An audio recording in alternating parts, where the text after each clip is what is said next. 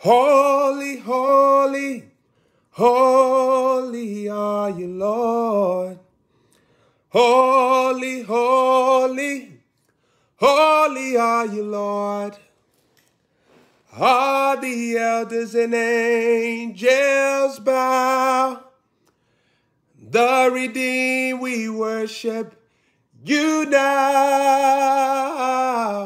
Holy, holy, holy are you, Lord. Holy, holy, holy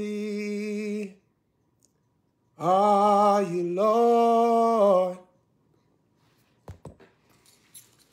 Holy, holy, holy are you, Lord. All the elders and angels bow. The redeemed worship you now, now. Holy, holy, holy are you, Lord.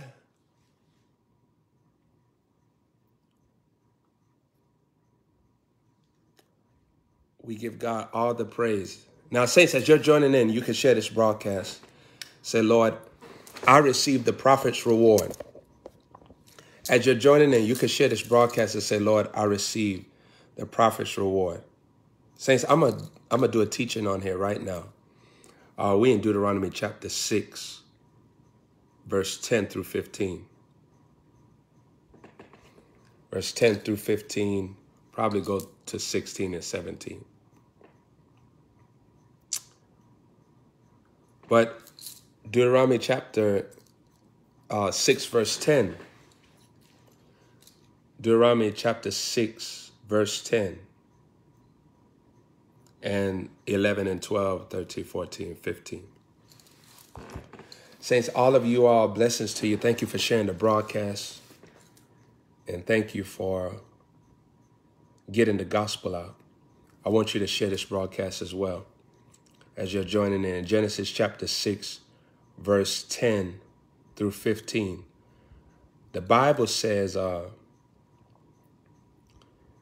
it says, it shall be in verse 10 that when the Lord your God shall bring you into the land which he swore to Abraham, to your fathers, to Abraham, to Isaac, to Jacob, to give thee great and goodly cities, to give thee great and goodly cities which thou buildest not, meaning you didn't build them. This is all favor. This is all harvests. This is all the Lord bringing you into abundance. And then verse 11 says, and houses, and houses full of all good things, and houses full of all good things, which thou fillest not, which thou fillest not, and wells digged, which thou diggest not, vineyards and olive trees, which thou plantest not.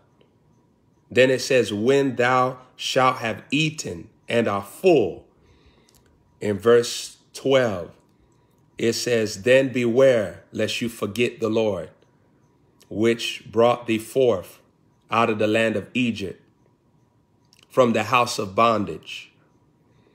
Then the Bible began to say in verse 13, Thou shalt fear the Lord your God, serve him. Then it also says, You shall swear by his name. I'm to explain all these things, these things to you. Then verse 14 says, You shall not serve any other gods.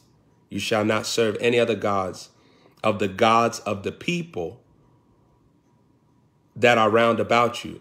And in verse 15, we in Gen, uh, Deuteronomy chapter 6, verse 15, it says, For the Lord your God is a jealous God. For the Lord your God is a jealous God. Lest his uh, lest his anger, the anger of the Lord, be kindled against you, and you be destroyed from off the face of the earth. So in Deuteronomy chapter 6, verse 15, it says the Lord your God is a jealous God among you, lest the anger of the Lord be kindled against you and you be destroyed from the face of the earth.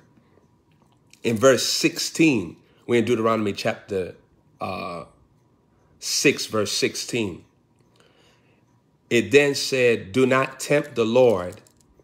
Do not tempt the Lord as you tempted him in Massah. And in verse 17 of Deuteronomy chapter 6, it says, uh, You shall diligently keep the commandments of the Lord your God and keep his testimonies and his statutes, which he has commanded thee this day. So, saints, that's that's that's something that I want I want to I want to minister to you on these subjects because it's real powerful. And I've been studying this and meditating this. And if you study verse 10, how the Lord said that he's going to bring you into the lands which he swore to your fathers. So abundance, goodness, a lavish lifestyle, this is what God promised to the fathers, Abraham, Isaac, and Jacob. And they were all demonstrators of this. We know Isaac in Genesis 26. We know um, Abraham in Genesis chapter 12. all of them are operating in the blessing and they're living big, prosperous. They have nice things. They have nice houses. These are all things that God has given to them. This is not what they have sought after. They have sought after God, and God has promised them, I'm going to give this to you. So, saints, when we deal with this type of lifestyle, it has nothing to do with people's opinion because people always have their own form of godliness. But you can't have a form of godliness without God because God has to form what the godliness should look like. This is what God has formed that the godliness, godliness looks like if you hearken diligently to his voice, like Deuteronomy chapter 28 was saying.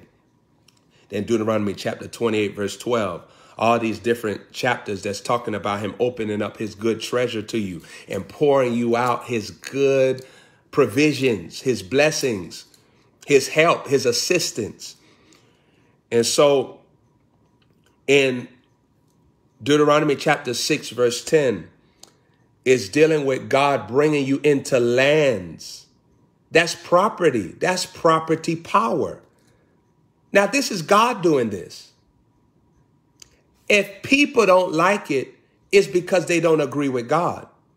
But the Lord, He is the creator of the universe. He is the one that caused you. Romans 8 28.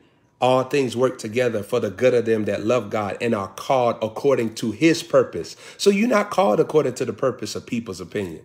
You called according to this God, and this is what this God is saying.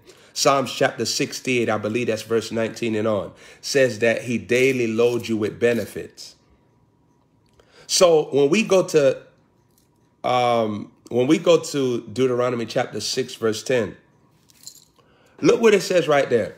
It says that when the Lord your God brings you into the lands which he promised. He swore. Do you know what swore means? That means that he made a covenant that cannot be broken.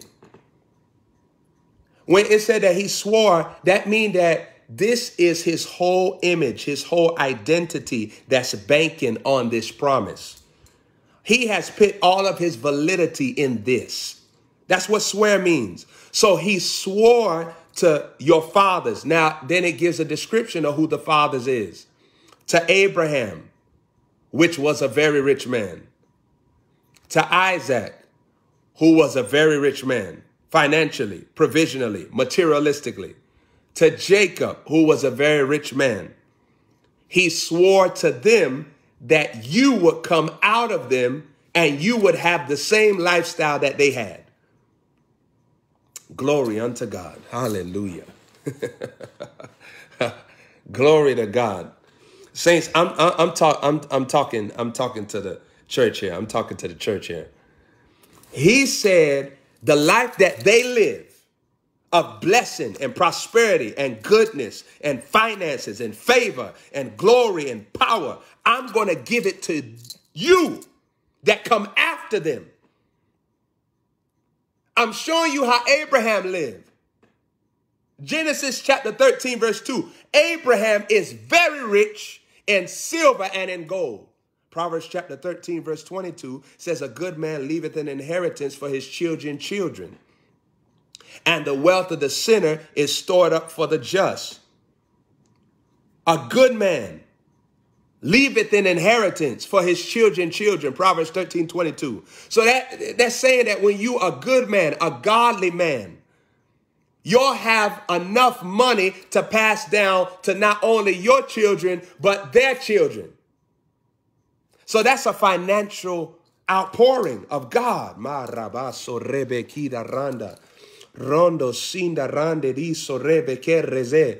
That's a financial outpouring of the Holy Ghost. If we stick to the word of God, and the word of God is truth, let God be true, let every man be a liar. That's what the word says. I think that's in Romans.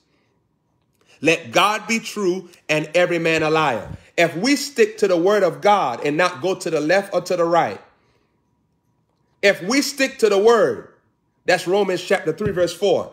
If we stick to the word, Romans 3, 4 says, let God be true and every man a lie. If we stick to the word of God and we live by the word of God, and like James 1 say, that you be a doer of the word. If you are a doer of the word, this is the blessing that comes upon you. Saints, this is why you got to keep your ear to God's mouth. You got to keep your ear to what the Father is saying.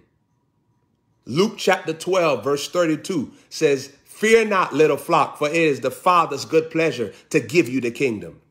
Fear not, little flock, for it is the Father's good pleasure to give you the kingdom. I think that's Luke chapter 12, verse 32.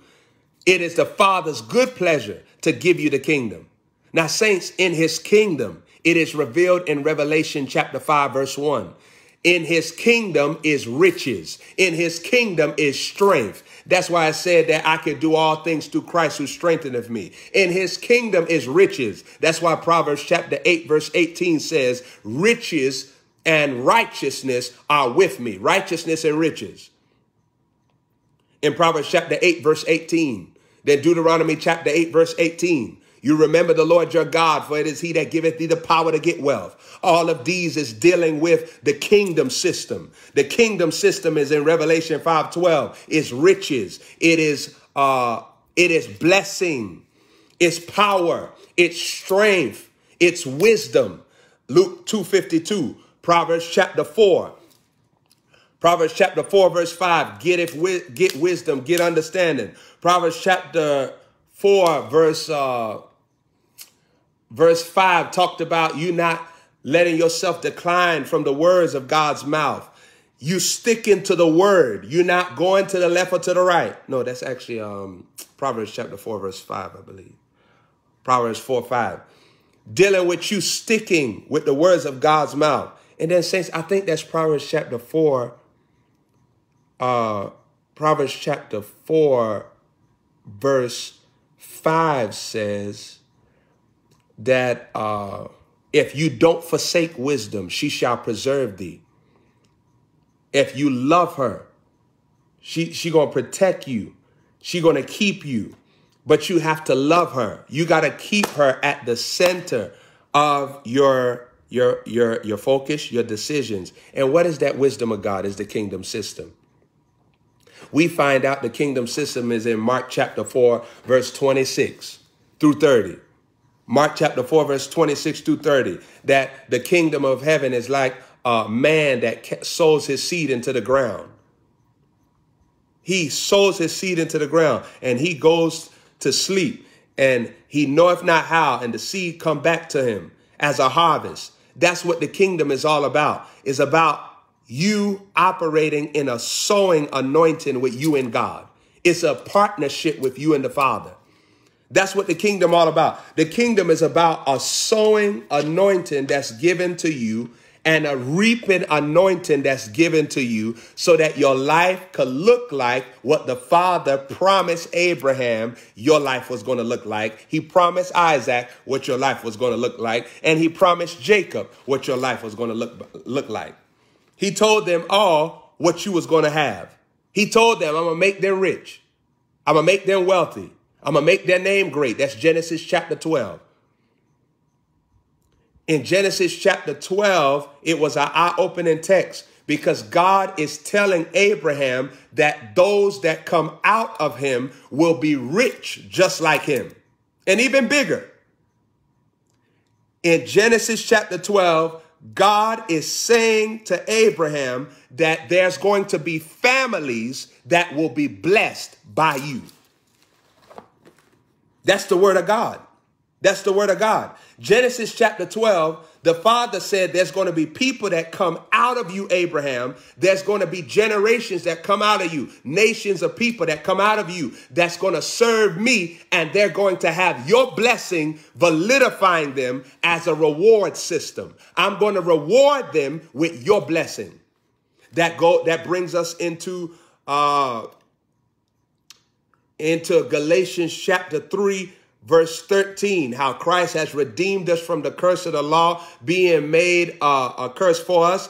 And verse 14 says that the blessing of Abraham has come upon you as you're in Christ Jesus and you have received the promise of the Spirit. That's Galatians chapter 3, verse 14. So the blessing of Abraham is a result of you being born again. Remember, Nicodemus came to King Jesus and said, what, what does born again mean? Do I go back into my mother's womb? And King Jesus told him about being born of the Spirit.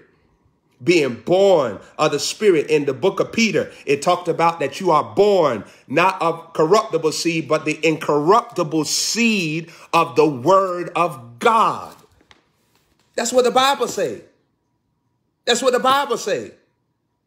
So when, when we look in depth at the blessing of Abraham, this blessing of Abraham is a lifestyle of pleasure and prosperity. Job chapter 36 verse 11 says, it says that if you obey and serve him, you'll spend your days in prosperity and your years in pleasures. Joel chapter 2 says that I'll restore unto you the years that the locusts have eaten, the cankerworm, the palmer worm, and the locust, the caterpillar. I'll restore back unto those, those years back unto you. So, saints, when we deal with this blessing of Abraham, this promise that God swore, he swore to uh, he swore to the people of God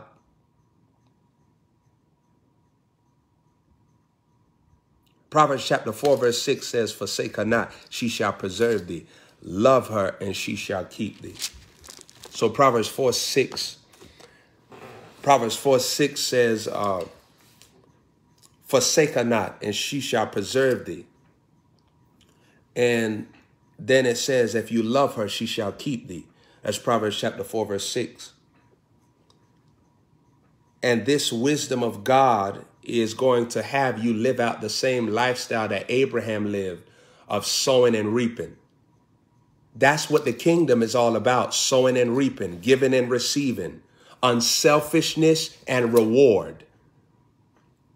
In Hebrews chapter 11, verse 6 says, Without faith is impossible to please God. It says, Let him that cometh to God he that cometh to God must believe that he is, and he is a rewarder of they that diligently seek him. I believe that's Hebrews chapter 11, verse 6. That you must believe that he is a rewarder of him that seeks him. He that comes to God must believe that he is, and that he is a rewarder of they that seek him. So you already have to get this recognition that the Father already did it for Abraham. He already did it for Isaac. So when you come to the Lord, you have to believe that he is a rewarder of those that diligently seek him. You know what that's all about? That's about you going all the way in the kingdom system, never becoming discouraged, never becoming double minded, never getting angry, never getting offended, never getting distracted, never getting corrupted, never getting sidetracked, never getting satanically influenced, never allowing yourself to fall to weakness, never allowing yourself to be condemned, never allowing yourself to doubt, to worry, to fear. The Bible said in Gospels, in the Gospels, Take no thought for your life, what you shall eat, what you shall drink, what you shall wear. For the Gentiles worry about these things. It says that your father already knows what you have need of. He already knows what you have need of. So when you come into the Lord and you're, you're, you're confronting the will of God for your life, you have to have full confidence that he is a rewarder of they that diligently seek him in Hebrews chapter 11, verse 6. You can't come to him double minded because in James chapter 1, it says that any man that comes to God double minded, let not that man think that he'll receive anything from the Lord. So, Saints, James chapter 1 shows you that when faith is not present, it cancels out receptivity. John chapter 1, verse 12, to as many as received him. That's the law of receptivity. To as many as receive him, he gave them the power. See, power flows off of receptivity. Power flows off of the law of receptivity. So even Deuteronomy chapter 8, verse 18, that power to get wealth is from the receptivity of the kingdom system.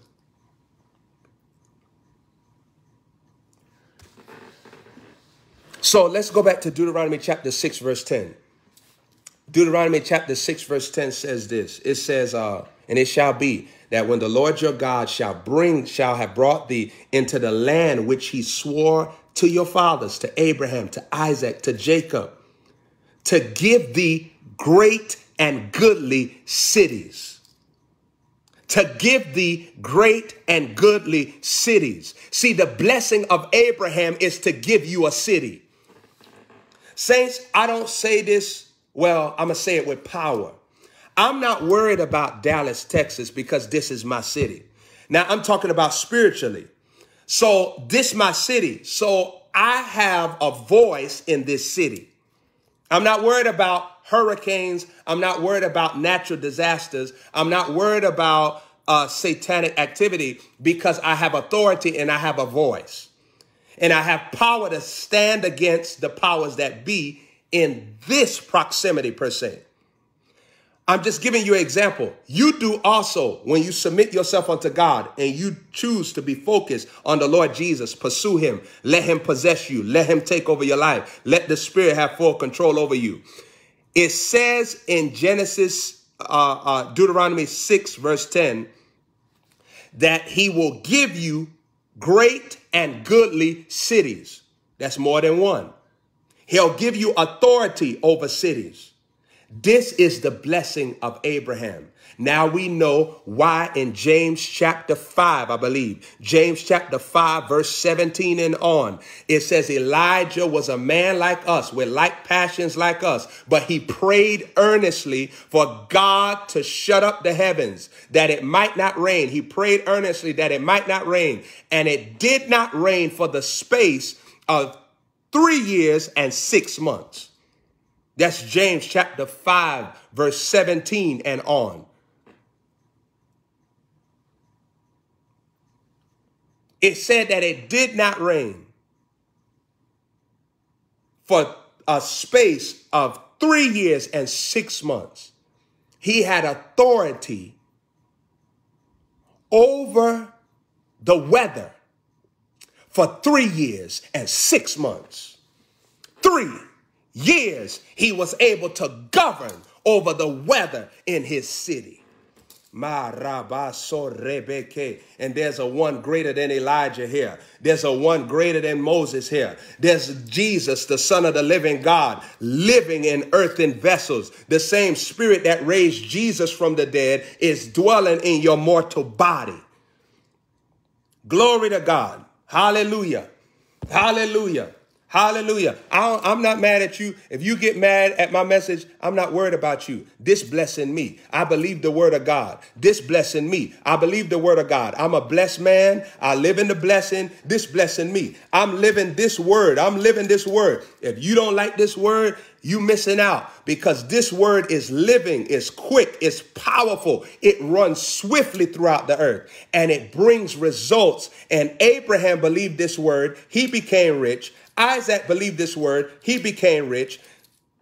Jacob believed this word, he became rich. All of them lived out in the reward system of God. Why? Because they was diligently seeking him. And how was they diligently seeking him? In Genesis chapter 12, the Bible says that Abraham built an altar where he was sowing into God. See, they not only believe God with their mouth, they believe God with their money, their currency, their provision. They was walking in Proverbs chapter 3 verse 9.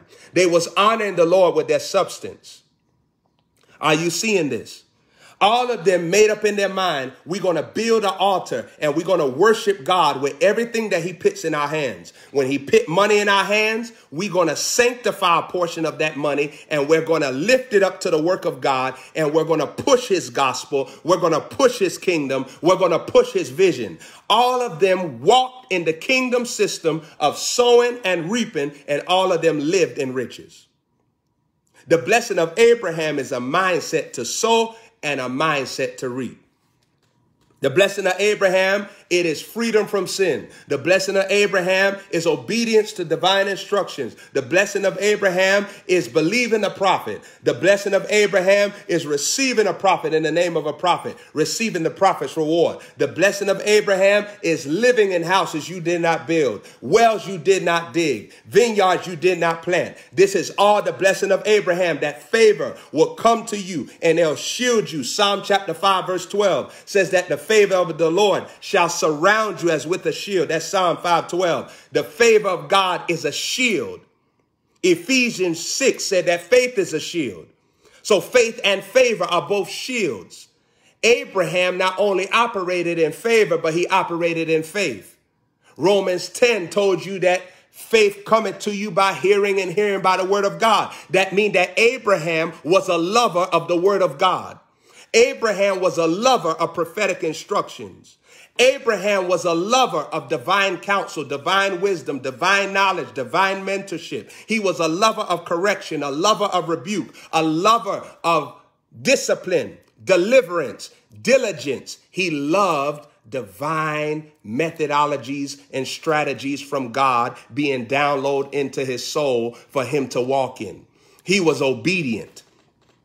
Remember in Genesis chapter 26, how God began to boast to Isaac about the obedience of his father, how his father was obedient to God. Remember how the father had a good report about Abraham, how Abraham was a listener, how Abraham was a student, how Abraham was submissive, how Abraham kept his statutes, how Abraham kept his testimonies, how Abraham didn't go to the left or to the right, how Abraham loved truth, how Abraham walked in freedom, walked in consistency, walked in in faithfulness, walked in the blessing, walked in the, in the empowerment of the Spirit. The empowerment of the Spirit was constantly moving through Abraham, and he was a leader. He took God's instruction and he did it. He didn't worry about who left him. He didn't worry about who agreed with him. He didn't worry about who was with him. He did it at all costs because Abraham had made his allegiance to God and God alone. So, saints, think about it. When the blessing of Abraham is on you, it is also a loyalty to the Father. You're not worried about persecution. You're not worried about people disagreeing with you. You're not worried about persecution. You're not worried about hatred or rejection. You're not worried about Goliath. You're constantly caring for the heart of the Father. You're looking towards his heart and making sure that he gets pleasure from your life.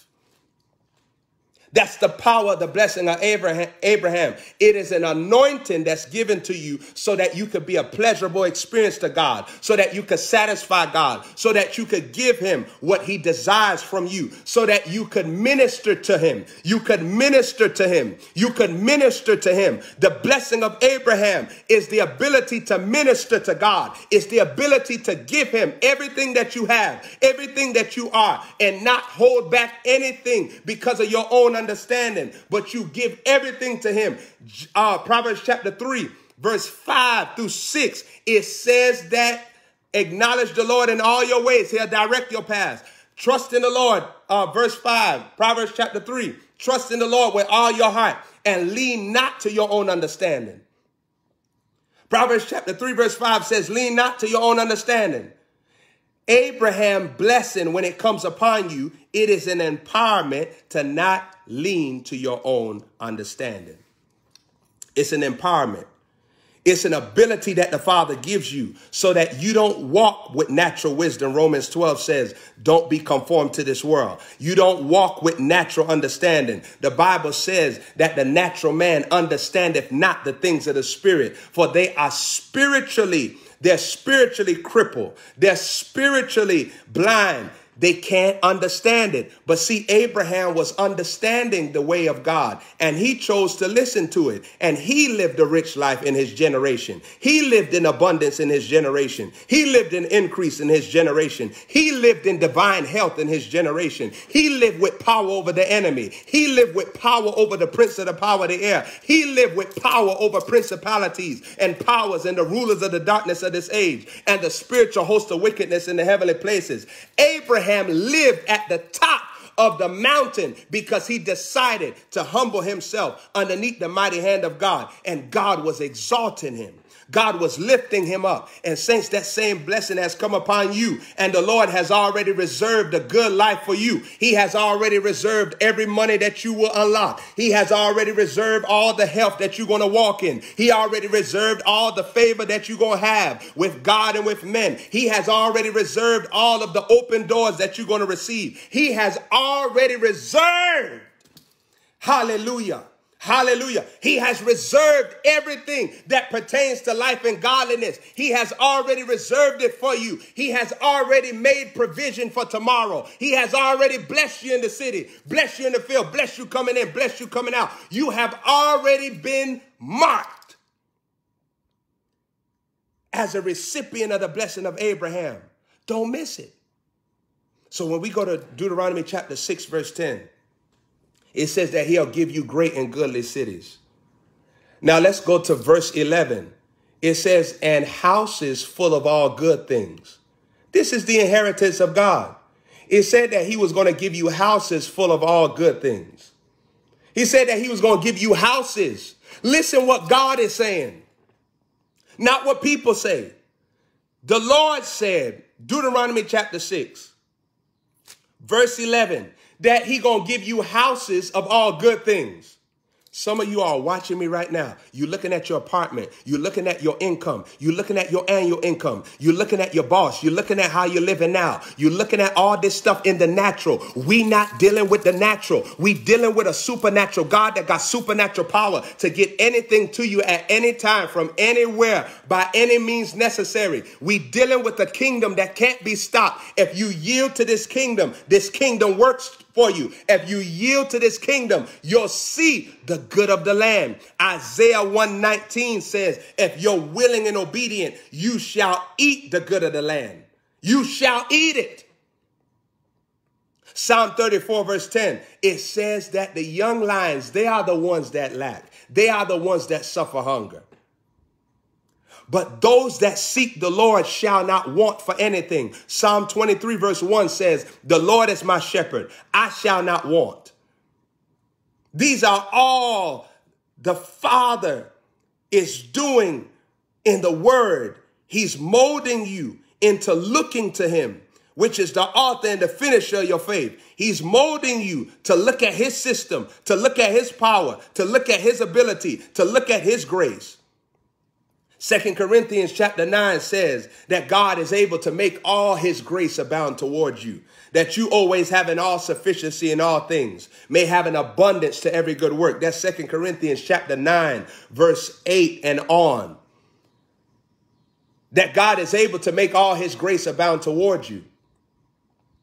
That you always have an all sufficiency in all things, may have an abundance to every good work. See, there go that word abundance again. And then John 10 10, you all know it, that he came to give you life and life more abundantly. But what's stopping that life? The thief. The thief coming but to steal, to kill, destroy. The thief is a spirit that governs tradition, that even makes the word of God none effect. The thief works through procrastination. The thief works through uh, uh, uh, self righteousness. The thief works through uh, a stony heart. A thief works through a stony heart. I think that's Ezekiel chapter 26. Talked about that stony heart. A thief works through all the things that cancel out money cometh, harvests, provision, wealth, the anointing of wealth, the blessing of Abraham, the blessing of the Lord, like Proverbs 10 22, it said that it makes you rich. That stony heart, see, the thief works through all these different uh, systematic weapons, fiery darts that affect the heart of man to make you fearful, to make you believe in what Satan is showing you your life is today and so that you don't receive the life that God has for you in all actuality. Are you living the life that God wants you to live fully? No. You're not.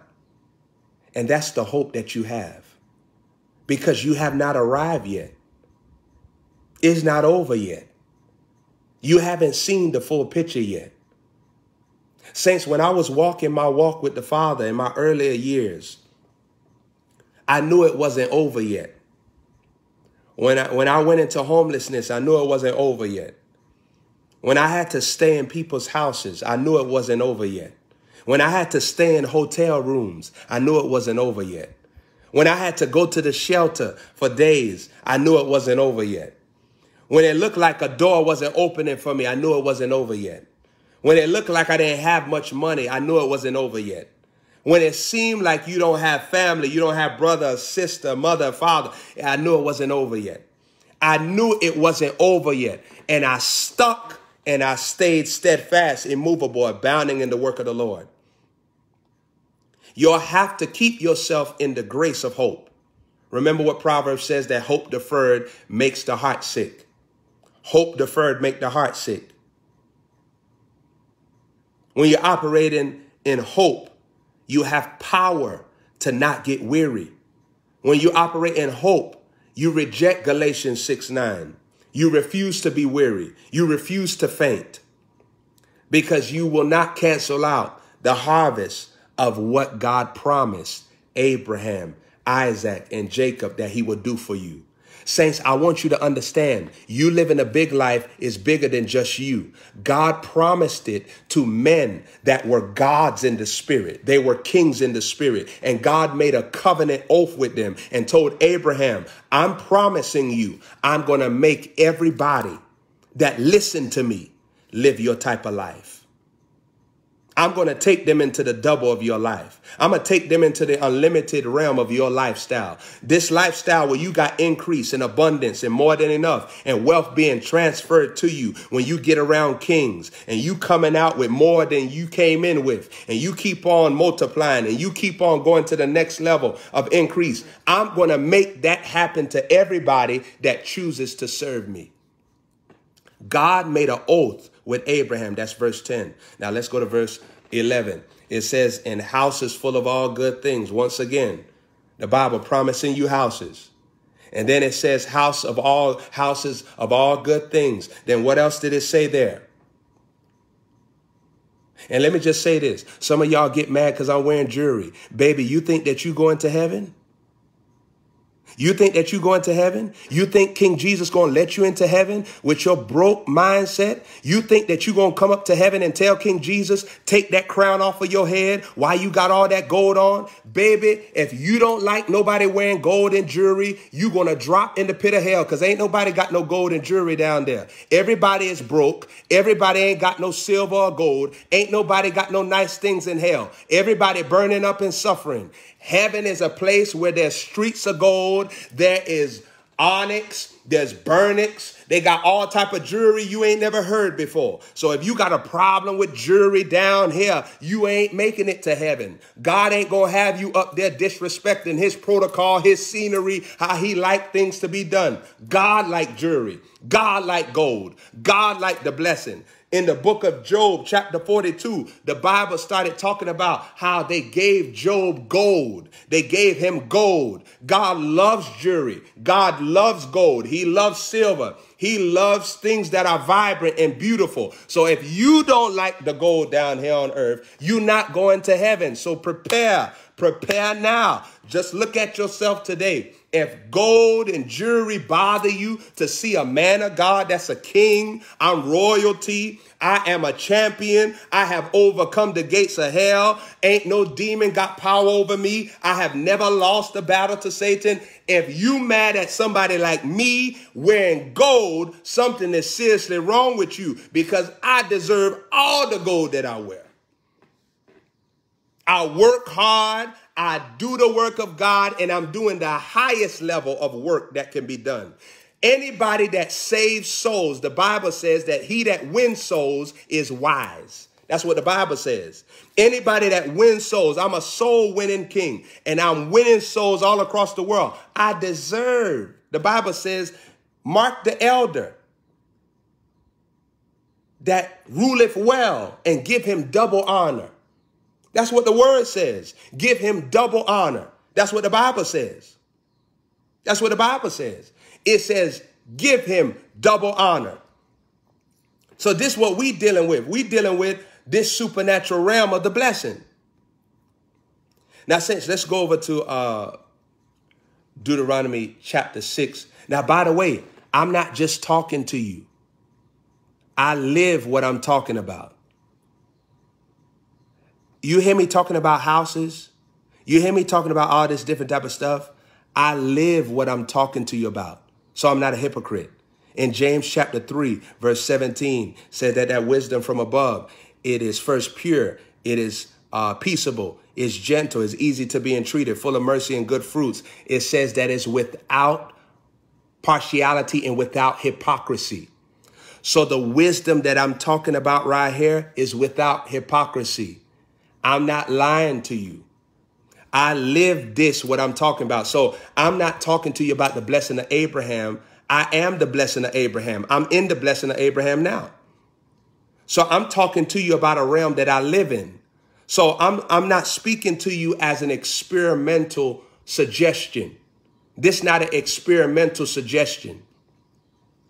I'm talking to you as a, a, a recipient of this. I live this out. So what I'm doing right now is I'm showing you all these different aspects in which you are supposed to be walking in this as well. So you're looking at somebody that has this. So I'm speaking this to you not to knock you down, but to lift you up.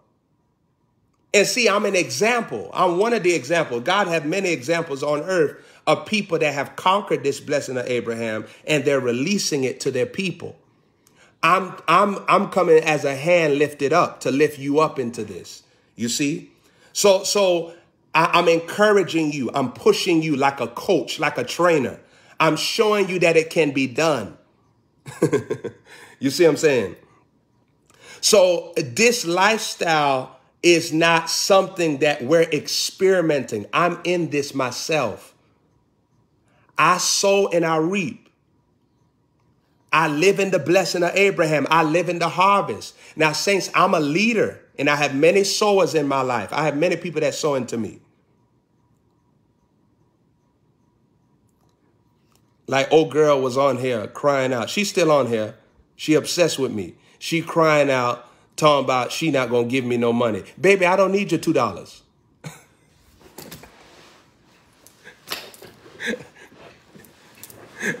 Baby, I don't need your $2.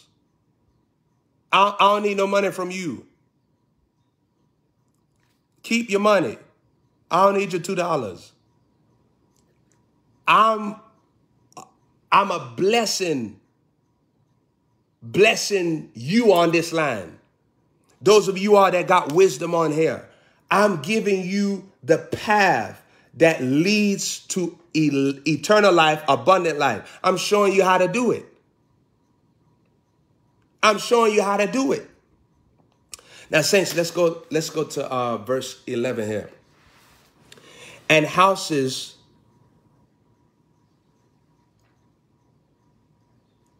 of all good things that thou fillest not.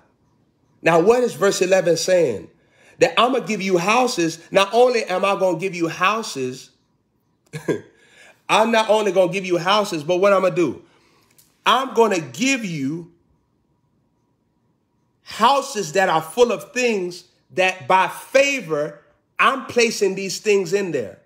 You're not going to have to toil to go get furniture. You're not going to have to toil to get bedroom sets and toil to get TVs, toil to get uh, uh, dishware and all these different type of things. Verse 11 is saying that God going to give you houses full of all good things. And then it says that as a result, you're not even going to be the one that put all these good things in. You're not going to be the one. I'm going to put these good things in by favor. In Proverbs chapter 24, it talks about how through knowledge a house is filled with riches. Through knowledge. Now, now what is the knowledge that uh, Proverbs 24 is talking about? It's talking about the knowledge of wisdom, the kingdom system, the blessing of Abraham, how this thing flows. So when you get that type of knowledge on the inside of you, what you're carrying an atmosphere for God to bring provision to you. You're carrying an atmosphere for God to bring increase to you. You're carrying an atmosphere for God to bring that overflow, that plenty to you. So he wants you to get the knowledge on the inside of you. See, saints, what I what I'm doing is I'm in this scripture meditation. I'm teaching my son to do this as well. I'm teaching y'all to do this. Where it's like this meditation of the word, it does something on the inside of you to make you ponder the word. So in uh, Psalm chapter 1, verse 2, and we see all throughout the life of Moses, the life of Joshua when he takes his leadership, the life of David, they're constantly bringing themselves into the knowledge of the word. They're meditating the word. They're keeping themselves engrafted in the word. And while they're engrafted in the word, what God is doing is He's making things happen for them on the outside by angelic ministry. Angels are doing things because they are reverencing the word on the inside of them. Think about this. On the inside of them, as they're listening to the word, they're meditating the word, the Father is causing angels to do things on the outside for them, removing the demonic powers, removing satanic interference, bringing them into the lifestyle that they're supposed to live, all because they're hiding the word in their heart. If we look at David, if we look at Solomon, look at how Solomon wrote in Proverbs and Ecclesiastes. Look how Solomon is so wise concerning the word of God. Number one, he listened to David. David listened to Samuel. Samuel listened to Eli. Eli was fallen according to his current state, but he still had information. Because remember what he told, he had prophetic information. Remember when Samuel heard a voice and he thought it was Eli? Eli said, Go tell the Lord, speak, Lord, for your servant heareth. Your servant is listening. So he had prophetic information. What you have to see is God was giving Eli the wisdom to give to Samuel since Samuel was about to take the throne. Samuel was about to take the position, take the office, take the priesthood, take that grace to walk in leading people and guiding people and pastoring people. God knew that, so he let Eli transfer the information to Samuel, which is very powerful because what we're seeing how these people valued the word. That's why they were so effective. They hid the word in their heart. They meditated the word. So when we see Samuel ministering to God, why is he ministering to God like that? Because he has Eli training him. Why is David operating in kingship? Now, he was a shepherd boy, but he got promoted to kingship. Who anointed him? Samuel. So Samuel taught him what kings do. So when Nathan came to Samuel, uh, came to David rather, and rebuked him for his sin, remember David repented because he was already taught by his prophet how to respond as a king. That's why David did not kill Saul because he had Samuel as his prophet teaching him the word. Hallelujah. Glory to God. Glory to God. And saints, this all go back into the blessing of Abraham. Abraham was teaching Lot how to win the war. Remember when Lot disconnected from Abraham? He lost everything because his power, his connection, his strength, his victory was all inside of his mentor. It was inside of Abraham. So the minute that Lot goes into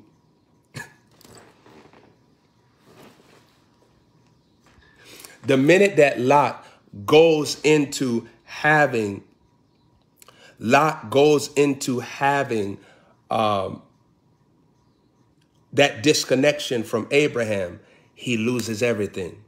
So, saints, what I want you to see is this whenever the Holy Spirit is placing the blessing of Abraham on you. Abraham was a prophet. So he's going to have a prophet assigned to you that's going to be teaching you. The blessing of Abraham is something that shifts the prophet right in your face. The prophet going to be teaching you and mentoring you so that you could come into the lifestyle that God swore to Abraham, Isaac, and Jacob. See, it's the prophet's reward. It's the prophet's reward. Saints, why I'm laughing? Because the same female is still on the line. I'm laughing because you're saying that I'm false, but you're still watching me. You haven't left the line yet. You haven't left. So, so what we're going to do is we're going to give you permission to leave the line. if you obsess with me, just say that. You obsess. Listen, if you love watching me, just say that. You saying all this stuff, but you're watching me. You, I have, I'm ruling your, uh, I'm ruling your control. I'm ruling your focus. I'm ruling your mind right now. I got your phone. Your data is watching me. I got full authority over your phone. So you saying that I'm false, but I got power over your phone right now. You can't turn me off. So so if I'm so if I'm so powerless, how I got power over you? I got power over your time. You could be anywhere right now doing anything, but you right here listening to my words. I got power over you. So just remember that. Those of you are that are hecklers, just remember, you listening to me talk. If you addicted to me, just say that. Amazing. If you think that I'm this and that, remember, you can't stop watching me. I'm ruling your phone. I got authority. Where your boyfriend at? Give me, the, I want to call your boyfriend right now on the line. Give me his number. Let me call him and tell him that his girl on my line listening to me. Does he know that you here? Come on, give, give me give me a phone number. Cause I I got authority over your phone right now. You saying all this different type of stuff, but you watching me, baby. You watching me. I'm not watching you. You watching me. you you you listen. You've been talking from the beginning of the broadcast. How long I've been on this broadcast now? I've been on this broadcast for, let me see how long I've been dominating you. I've been dominating. I've been on this line for over 50 minutes. You've been with me for over 15 minutes. I've never seen somebody talk about Jordans being fake, but they at the Jordan store for 50 minutes shopping. I've never seen that done. I've never seen somebody at a place scorning it and then they shopping at the same place for over 50 minutes. You've been here for over 15 minutes. You dismiss. If you can't leave this line, it's because you addicted to me. Just say that. You ain't got to criticize me. If you addicted to me, just say that. Because if you were so, uh, uh, if you were so, if you were so, you, you would have done left. We all the way going into an hour and you still here just talking. Now, either you crazy because you got a lot of stuff to say, but you real crazy if you could be on this line for all this period of time talking to yourself and you never met me, I never met you, and you could be talking to me, that sound real crazy. Would I go over to someone's house and I start talking to them and I never met them before and they never met me before and I talk for over 50 minutes? They will call the police on me. So baby, you're making yourself look bad. The whole world be watching me. So be very careful. If you want a husband in the future, you don't want your man see you on this line. You don't want your man seeing you on this line acting crazy. Cause now he got a track record to know what type of what type of cycle you is. So calm down. Me and you ain't got no children. I wouldn't dukes you if you was the last woman on the earth. Calm down. Calm down, baby. We ain't got no children together. I'm not paying you no child support. I'm not trying to be with you. Me and you ain't got no relationship. We ain't never gonna have no relationship. So just go on about your business. There's other men. There's other men out here. Me and you not together. You not my wife. Me and you, we not girlfriend. I don't want to be with you. Calm down. Let's snap. Deuteronomy chapter 6, verse 11.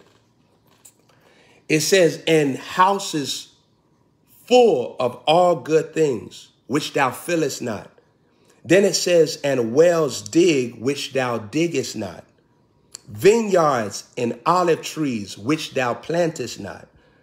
And then it says, when thou shalt have eaten and are full. What then it, it said in verse uh, verse uh, 12, it says, then beware lest you forget the Lord. It's telling you not to forget God. Remember I told you that God gives you wealth to target your memory. He don't want you to forget him. He don't want you to lose the greatness of who he is in your mind. He wants you to stay fascinated with him.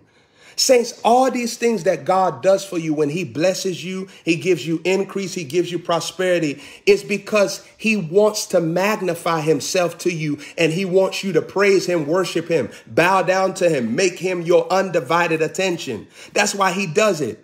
Saints, a lot of times the Lord be doing stuff for you and you forget it so quickly. Some of y'all got vehicles. You don't even thank God for the vehicle no more.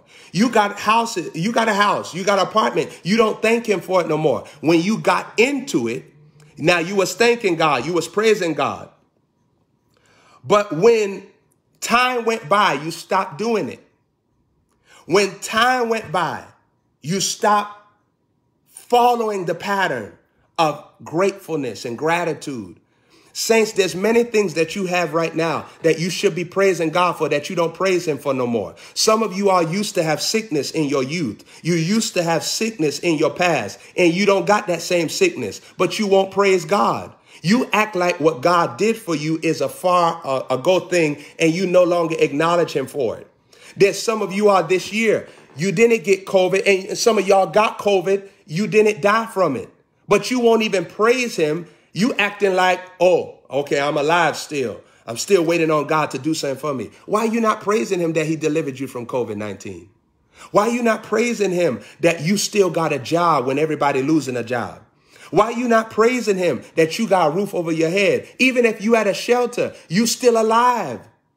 Why don't you take the opportune times to praise God and celebrate him for the things that he's constantly doing for you, even if you got life in your body? Every day of your life, it's so easy for you to forget yesterday's miracles, yesterday's mercy, yesterday's favor, yesterday's protection, yesterday's grace, yesterday's patience of God, yesterday the long suffering of God.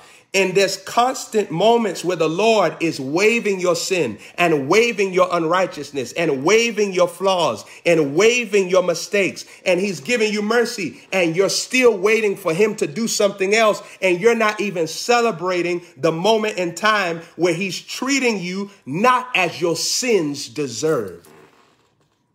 He's treating you not as your sins deserve. You should be in hell. You should be dead. You should be punished. You should be stricken. But he's still giving you life and moments for you to get it right with him, for you to change, for you to repent, for you to get saved from the wrath to come, for you to get delivered from hell fire, from you to get set free from flaws and addictions, bad habits and sins and iniquities and wrongdoings and wrong thoughts and vain imaginations. He giving you power to trample over the serpent and the scorpion and all the powers of the enemy. So nothing by any means shall be able to hurt you. Luke chapter 10, verse 19. He giving you the power over the enemy. What are you doing with all of the things that God is doing to impress you?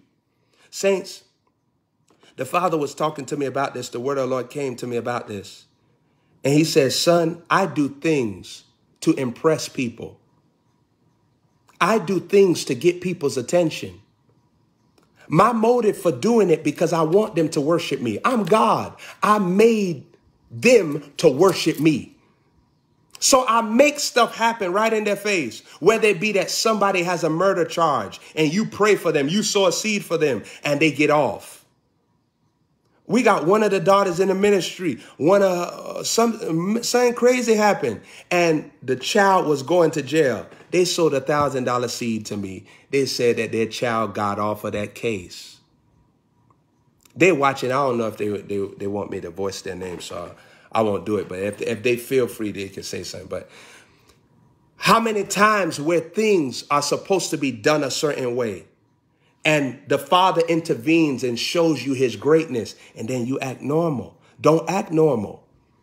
Be fascinated with God. He loves that. Act like he's the boss. Act like he's the king. Talk to King Jesus in your prayer life as if he is all that. Don't come to him talking about, Lord, when you going to do this for me? Why you ain't do this for me yet? Say, Lord, you so good. You so amazing. You so spectacular. I want to be just like you. Make me like you. Make me into a pleasurable experience for you.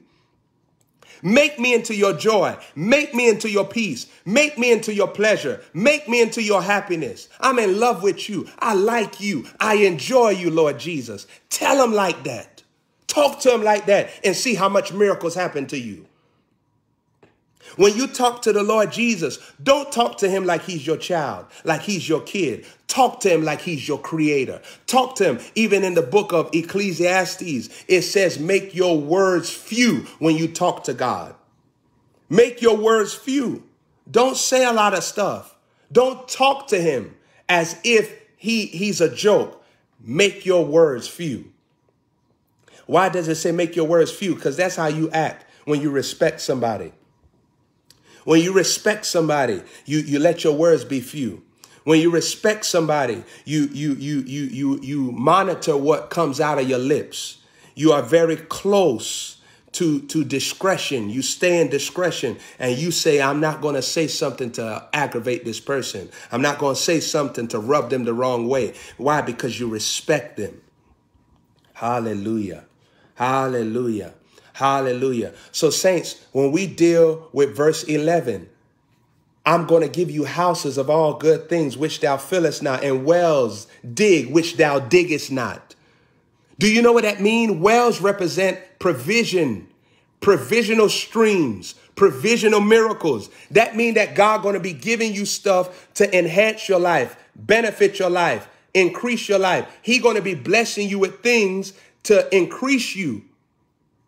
And he's going to do it supernaturally. You didn't these, dig these wells, but yet they are dug because God did it for you supernaturally. Digging a well is like a portal. It's a portal of provision provisions, more than one stream, more than one avenue of God getting money to you, provision to you, progress to you, prosperity to you, advancement to you. It's more than one stream. So, saints, when the word of God started speaking on there about you're going to have houses full of all good things, which thou fillest not. You didn't even fill your house with all these things. God going to bring you furniture, bring you lavish things, luxury. And then he said that you'll have wells that thou diggest not.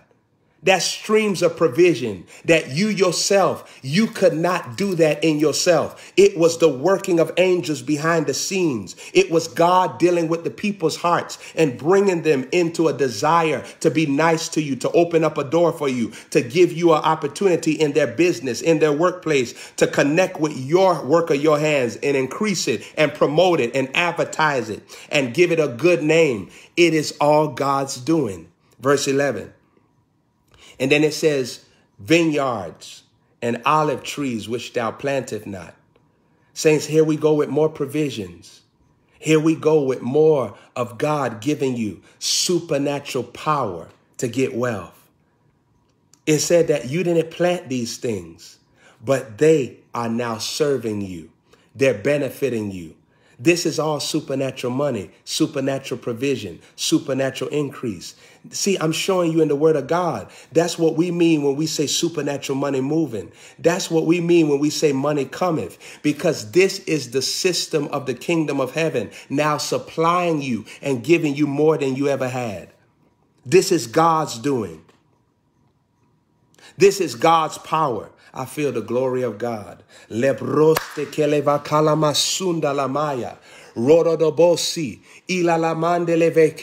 Rasto. Rata. Rede. Robosuto. We give God all the glory. We give God all the praise. We give God all the power in here. We give God all the power in here. We give God all the power. We give the Lord all the power. All the power belongs to God. It says that you didn't plant these vineyards and olive trees. And look what it says at the end. It says, when you have eaten, when thou shalt have eaten and you be full, it's saying when you are satisfied. Psalm 103 talk about he'll satisfy your mouth with good things. It's saying that when you are satisfied, when you are satisfied, when you're in a place where you're saying, I got too much, I'm enjoying myself. I'm having so much fun. Look what it says in verse 12. It says, Beware, then beware that you forget not the Lord. Don't forget him. Keep on reminding yourself of every gift that God has given to you. The reason why we disrespect God is because we forget what he gave us.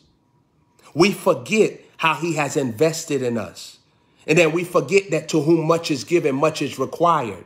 So when much is being required, we disrespect the requirement because we've disrespected the investment. We forgot how much was given to us. So then when we get required of us much, we forget how to respond because we forgot that there was already much given to us. So now the response is disrespect to the much that's required from us. It says, forget not the Lord. Forget not the Lord. Forget not the Lord. Forget not the Lord. Forget not the Lord. And look what it says. Forget not the Lord. Verse 12. That brought thee forth from the land of Egypt, from the house of bondage. So you have to remember I used to be a sinner. I used to be stuck underneath Satan's grip. I used to be underneath the powers of the devil. I used to serve the satanic kingdom. I used to listen to demons. But now the Lord has delivered me out and brought me forth out of the land of Egypt, the land of sinners, the land of slaves, the land of victims, the land of the defeated, the land of losers, the land of the cursed. He has brought me forth from this land of the children of darkness, the sons and the daughters of disobedience, the, the land of witches and warlocks, the land of rebels and devils, the land of the defiled and the corrupt. Are you seeing this? Hallelujah.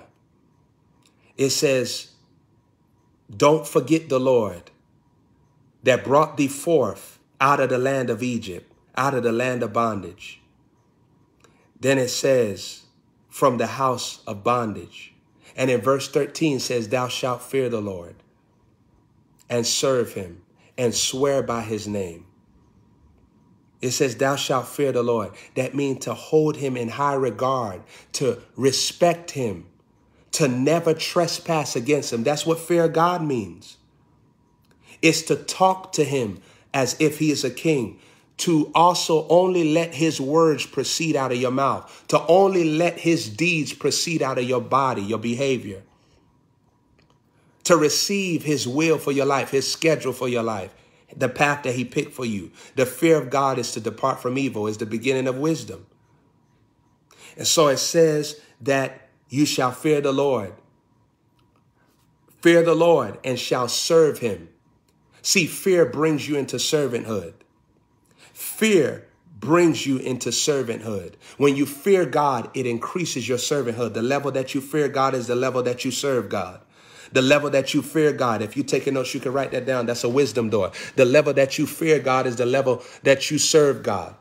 It says that you fear him, that you fear him and serve him and swear by his name. What does that mean? Swear means that you create a covenant, a oath, a marriage with you and God by his name. Because his name is established, is higher than principalities and powers, is higher than any demonic thing, is higher than things above, things on earth, and things below. It is the greatest name that exists. So you swear by his name, you make an oath by the highest level of weapon that exists, the name of the Lord Jesus. And then it says that you swear by his name, you make a covenant, you marry the name of the Lord Jesus. You marry him. We know that the name is now the Lord Jesus. We know that's in the Old Testament, but now we see the manifestation. Remember what uh, John chapter 1 says that he was the word made flesh and dwelt among us, and we all beheld his glory. So now we see the manifestation of the name of the Lord. Proverbs says that the name of the Lord is a strong tower. The righteous run to it and they are safe. But now we see that now in the New Testament, the angel tell Mary that this his name shall be called Jesus and he shall save his people from their sins. So when it says that the name of the Lord was a strong tower, the righteous run to it and they are safe, they are saved. So this is the name of Jesus. So when we look at when we look at uh, Deuteronomy chapter Deuteronomy chapter 6 verse uh, 13, we're looking at the name of Jesus that you're swearing by. You're making an oath. That's what swear means. You're making an oath and saying, I choose to serve the true and living God. I choose to let go of my addictions, the things that I'm struggling with, and I choose to serve the living God and become one with him. That word swear also means to build an oath, to build a covenant, to become one. How could two walk together unless they be agreed? That oneness. In the book of Corinthians, I believe it says that you are joined to the Lord and you are one spirit. You are joined to the Lord and you are one spirit. Remember, the Bible says that there's one Lord, there's one spirit. Now, in verse 14, it says that you shall not go after other gods. You shall not go after the gods of the people that are round about you. That means that don't let yourself get influenced by demonic people. Don't let people and the lifestyle that they live in, don't, don't conform to it. Don't give into it. Don't let them become your role model. Don't let their spirit start influencing you. Don't be enticed, seduced. Don't be amused, entertained by the lifestyle of people that's not serving the Lord Jesus. Don't let them influence you. That's what it means. You shall not go after other gods. Gods means that something that you worship. And worship is dealing with uh, you giving your time over to this thing. You giving your moments over to this thing, your body over to this thing, your schedule over to this thing. It says you shall not go after, you shall not go after other gods. And then, then it says that uh, of the gods of the people round about you. So don't go after other gods by self will, but don't go after other gods by being influenced by others, bad company. So don't choose their gods. When you see people living a certain lifestyle, don't choose to adapt to that lifestyle yourself. Now, verse 15 is very powerful. Verse 15 says, The Lord your God is a jealous God among you, lest he lest the anger of the Lord be kindled against you and you be destroyed from off the face of the earth. Verse 15 of Deuteronomy 6 is very powerful because the text is telling you something mighty here. Is letting you know to not let yourself, do not let yourself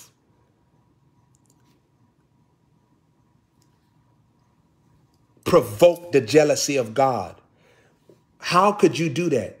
That you start giving your time, your obedience, your servanthood to other things, to other avenues, to things that God has not scheduled for your life. Don't let yourself become a servant to things that grieve the Holy Ghost. That's what the Bible is saying here.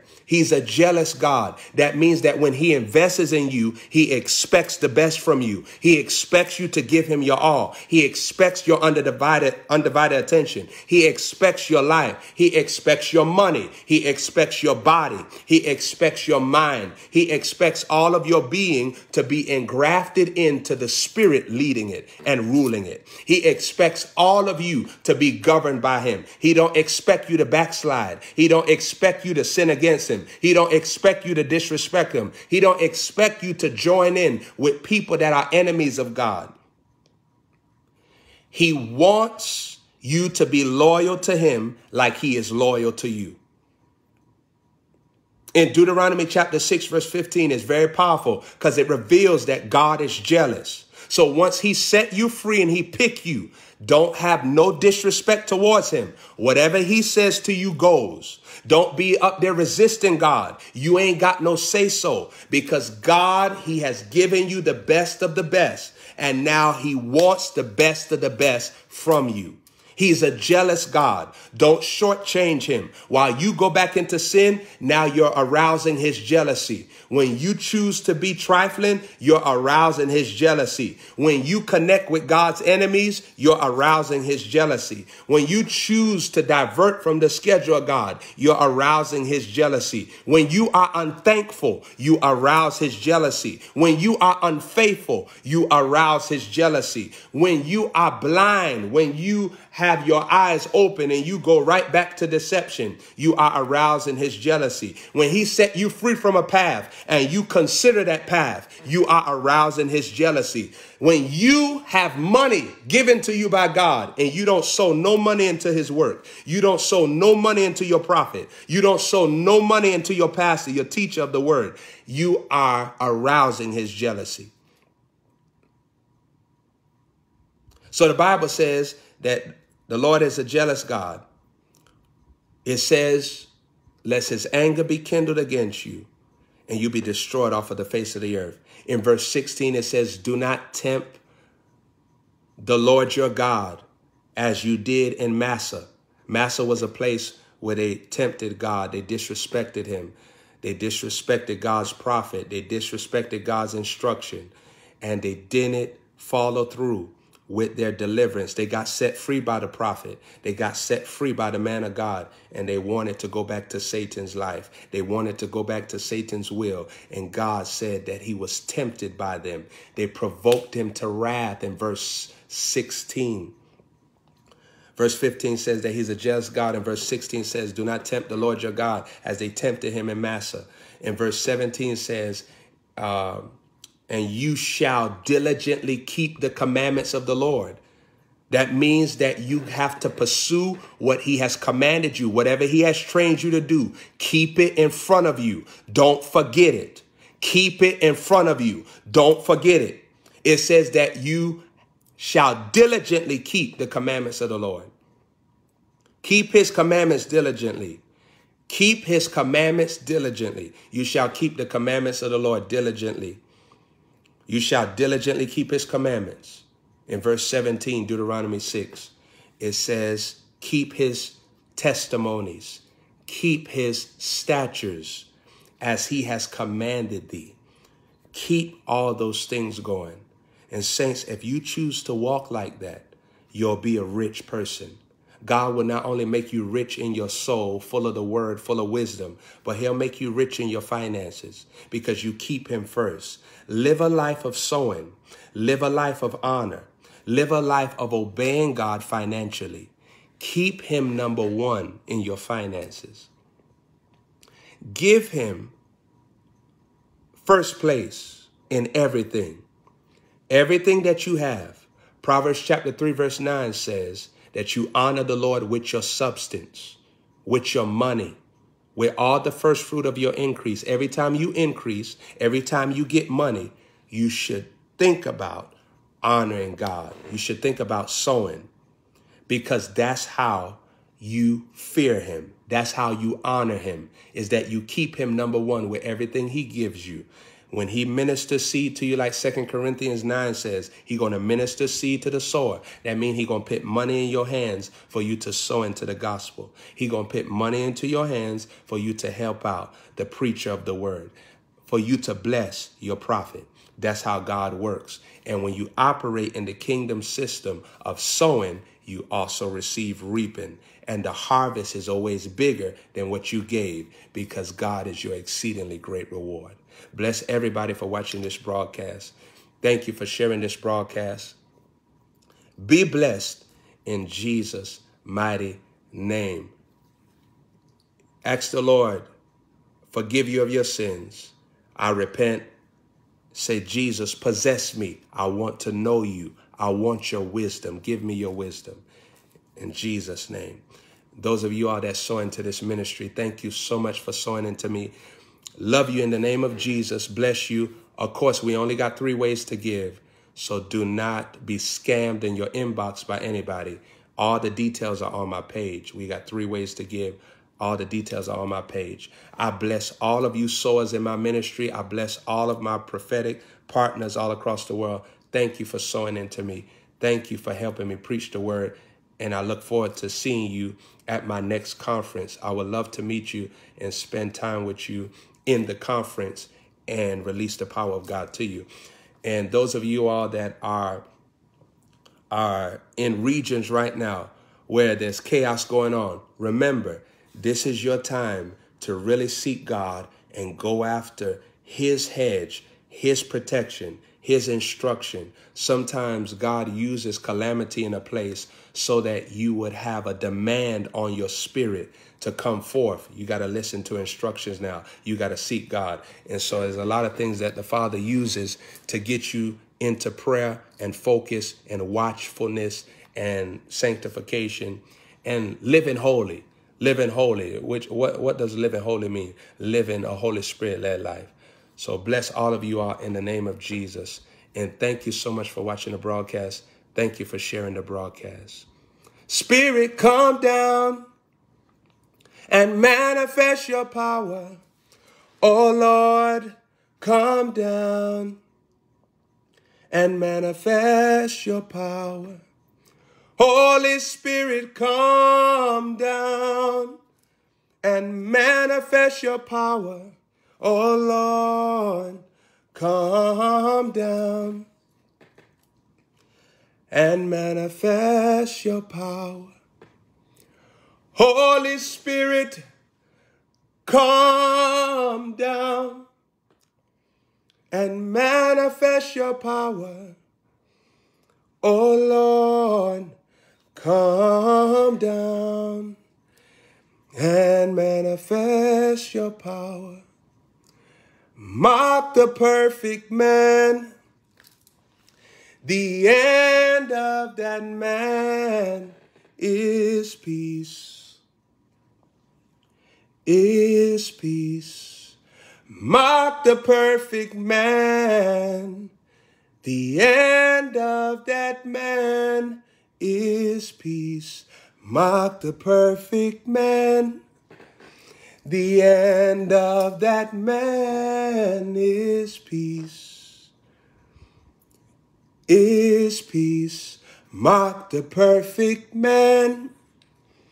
The end of that man is peace. Mark the perfect man. The end of that man is peace. Mark the perfect man. The end of that man is peace. Mark the perfect man. The end of that man is peace. You are so beautiful to me. Lord, you are so beautiful to me. Can't you see? You're everything I hope for. Everything that I need. You are so beautiful. Oh, oh, oh, you are so beautiful. King Jesus is so beautiful to me.